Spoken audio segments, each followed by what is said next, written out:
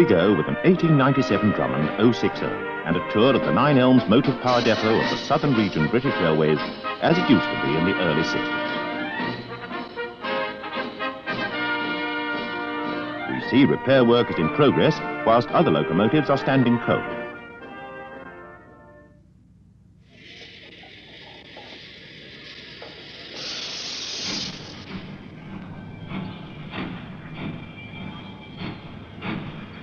Merchant Navy class locomotives, Shaw Savill Elders Fyffes Bibby line, as well as other engines are seen here preparing for their run.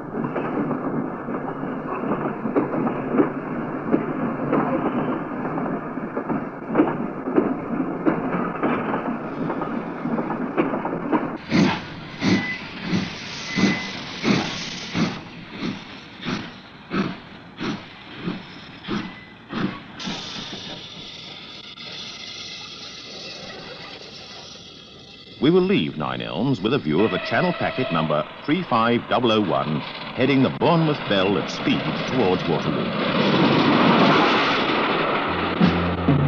On the Isle of Man in 1964, we filmed the Beyer Peacock locomotives built in 1905. G.H. Wood, number 10, and Maitland, number 11, at Castletown and Douglas stations in maroon livery before their more recent repaint to the present green.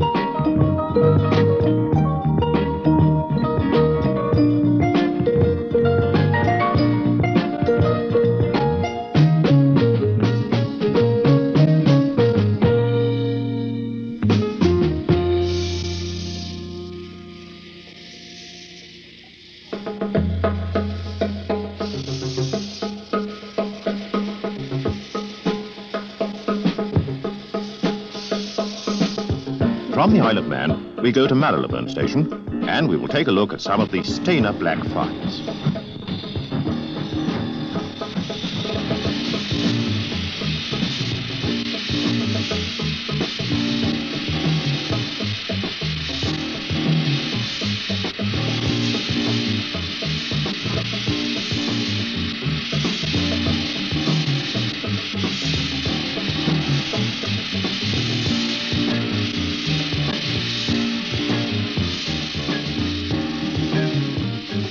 Fives were very popular with the engine men who drove them. They would all agree with a statement made by one of these men. He said of the Black 5s, it was a wonderful machine. Simple to drive, not sensitive to individual drivers' techniques, easy to fire, and quite effective with a thick fire or a thin one. Steady on its feet, and comfortable to ride on. Could a man want for more?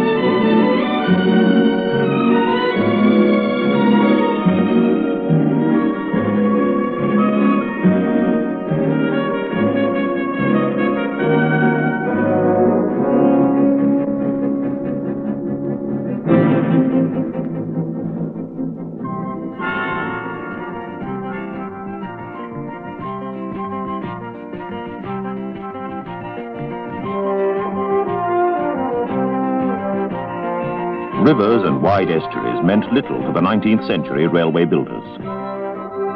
The bridge over the Firth of Forth was at the time of its construction and completion in 1890 the largest in the world, one and a half miles long. As in all bridge construction, the Forth Bridge took its toll of life. During the seven years it took to build the bridge, 60 men paid that toll. Originally, the design of the Forth Bridge was to be based on its forerunner, the Tay Bridge, a girder-type bridge built in 1878 by Sir Thomas Bouch. Plans and preparations were underway to begin the actual work on the Forth Bridge when the Tay Bridge disaster occurred.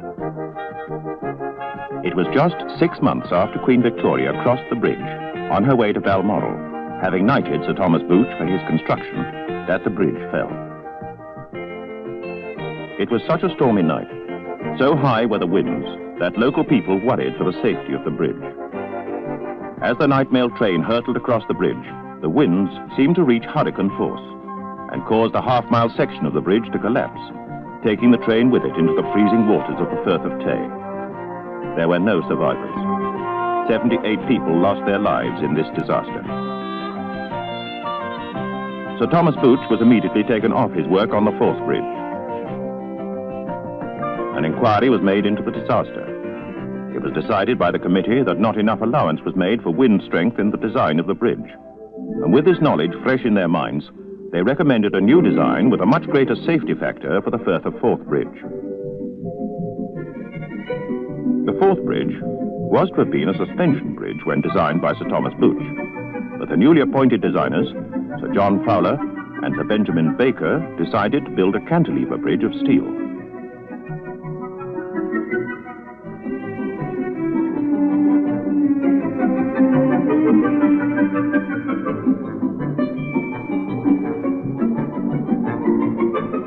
Inchgarvie Island was used to build the central pier. There are two other double cantilevers, and each one is 360 feet high. The process of balance was controlled in the building of this bridge, as each arm was built simultaneously out from the center for a distance of 680 feet. Even so, there still left a gap of 350 feet between the cantilever arms, and this was filled with a girder section. The bridge now carries a double-track railway across the Firth of Forth at a height of 157 feet.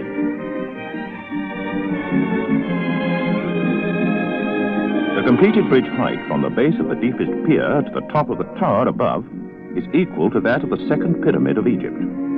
It is twice as high as the Newcastle High Level Bridge and would stretch exactly from St Paul's Cathedral to the York Column in Waterloo Place in London.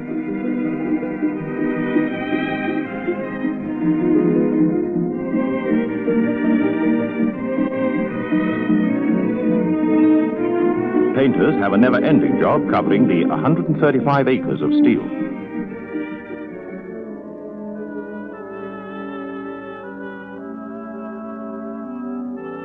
In the autumn of 1964, five years after this film was made, construction was completed on the road Suspension Bridge, and it was opened by Queen Elizabeth II.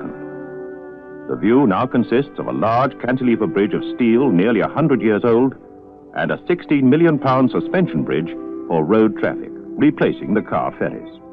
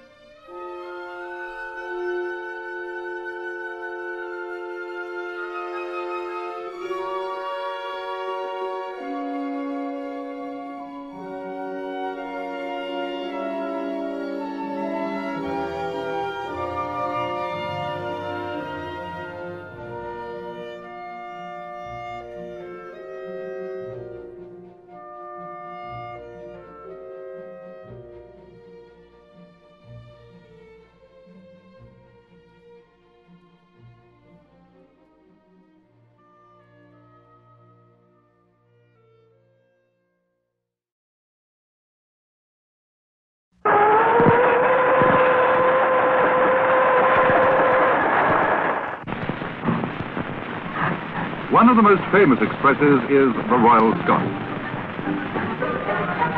Every day, winter and summer, in peace and war, an engine driver and fireman have come to get the engine ready to take the Royal Scot out of Euston at 10 o'clock. The drivers of these crack expresses take great pride in their responsible job. And getting the engine ready is not just an empty phrase. The driver leaves nothing to chance and makes a personal inspection, carefully oiling and checking everything.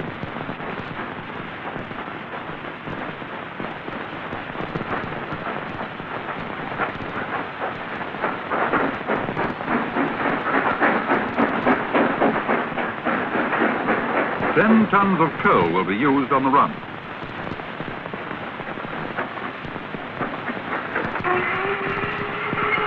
Slowly, the driver backs the great locomotive onto the turntable.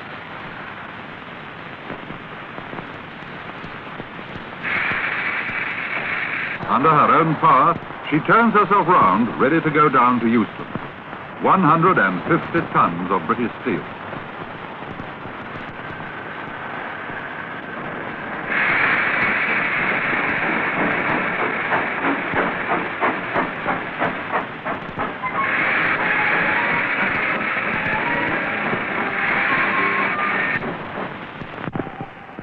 The Royal Scot is waiting on platform 13, but the superstitious need have no qualms.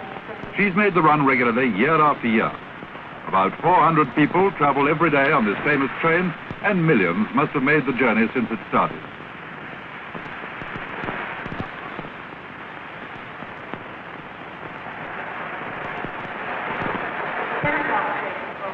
The guard checks final details with the engine driver. All is ready. The smooth, easy departure of a big train requires the synchronization of hundreds of planned and timed events.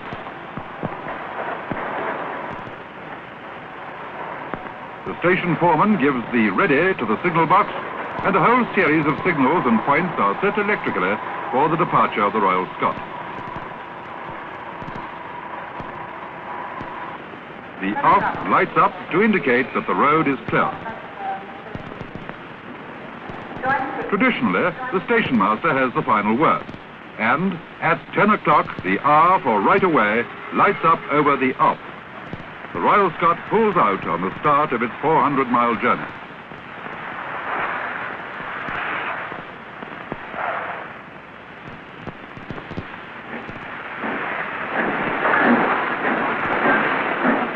To help her up the gradient to Camden, a banker engine pushes from behind.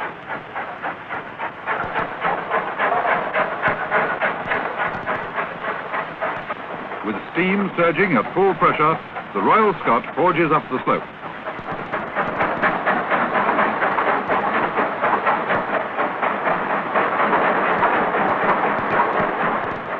She gathers speed now and leaves the banker behind.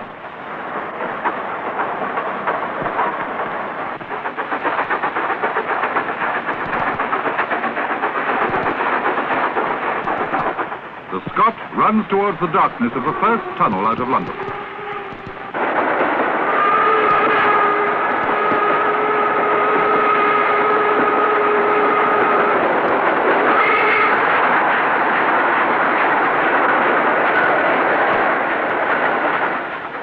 That was Kensal Rise.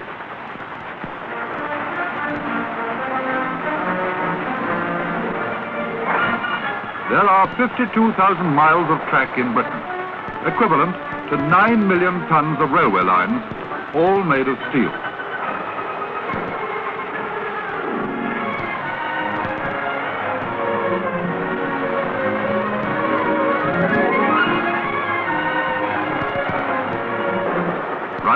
Speed, we easily overtake a goods train, the backbone of the railway system.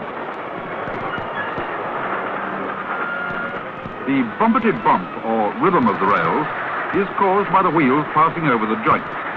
The rails on the main line are laid in 60-foot lengths, so there are 88 bumps to the mile. From this, the mathematically minded can work out the speed of the train.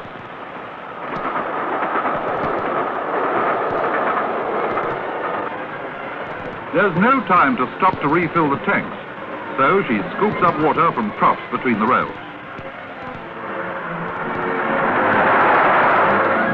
The Scot uses something like 20,000 gallons of water on the journey. 75 miles from London, the Scot approaches Kilsby Tunnel. Above us is the house where the gunpowder plot was hatched.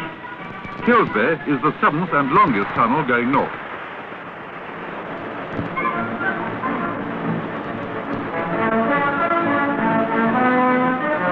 Martello-like towers, 120 feet above the track, let the smoke out. The Scot roars out at the other end, nearly a mile and a half further on.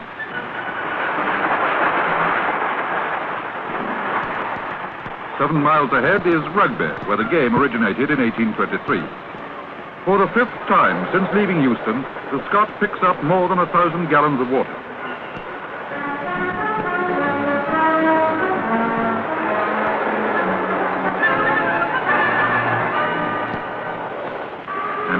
To Wigan.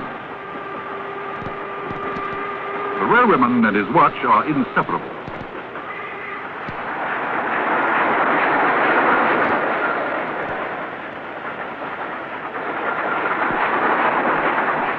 Four hours from London is Lancaster Castle with John o' Gaunt's Gate.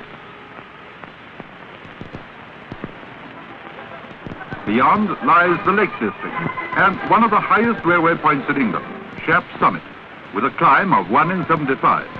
The powerful locomotive takes this gradient without a banker engine.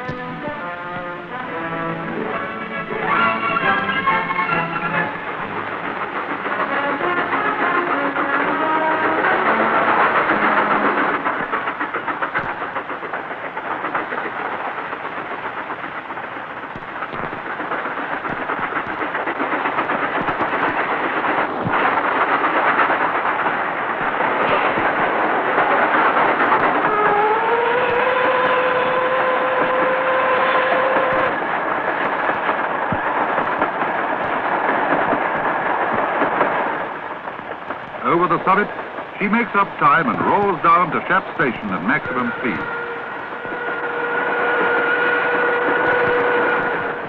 Few people have had the thrill of riding on the front of an express train at this rate.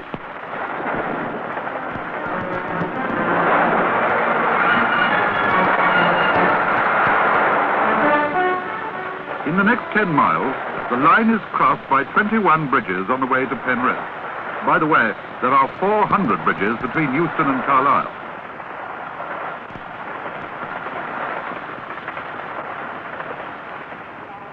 At Carlisle, engines are changed in winter after the 300-mile run. The waiting engine, the City of Chester, is soon coupled and the Royal Scot pulls out on the second stage of the journey.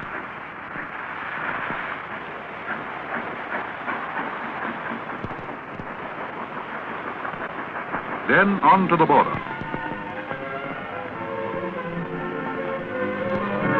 The first house in Scotland.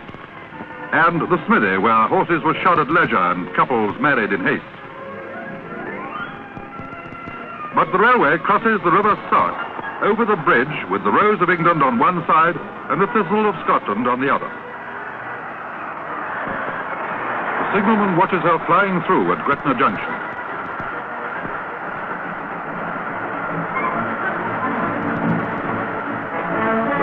Of Dumfriesshire slowly give way to the grandeur of the Scottish scene as she wends her way north through the steel-making towns of Lanarkshire to the great city and port of Glasgow.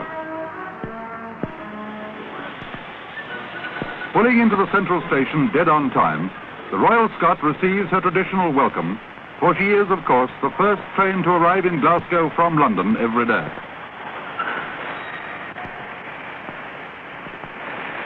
The end of the run, but only for the Royal Scot. The rhythm of the rails will go on all the time, even in the new age of electrification and diesel-powered locomotives. Goods trains will travel in the wake of famous passenger services, bound for cities, towns, and ports at every point on Britain's 52,000 miles of steel railway track.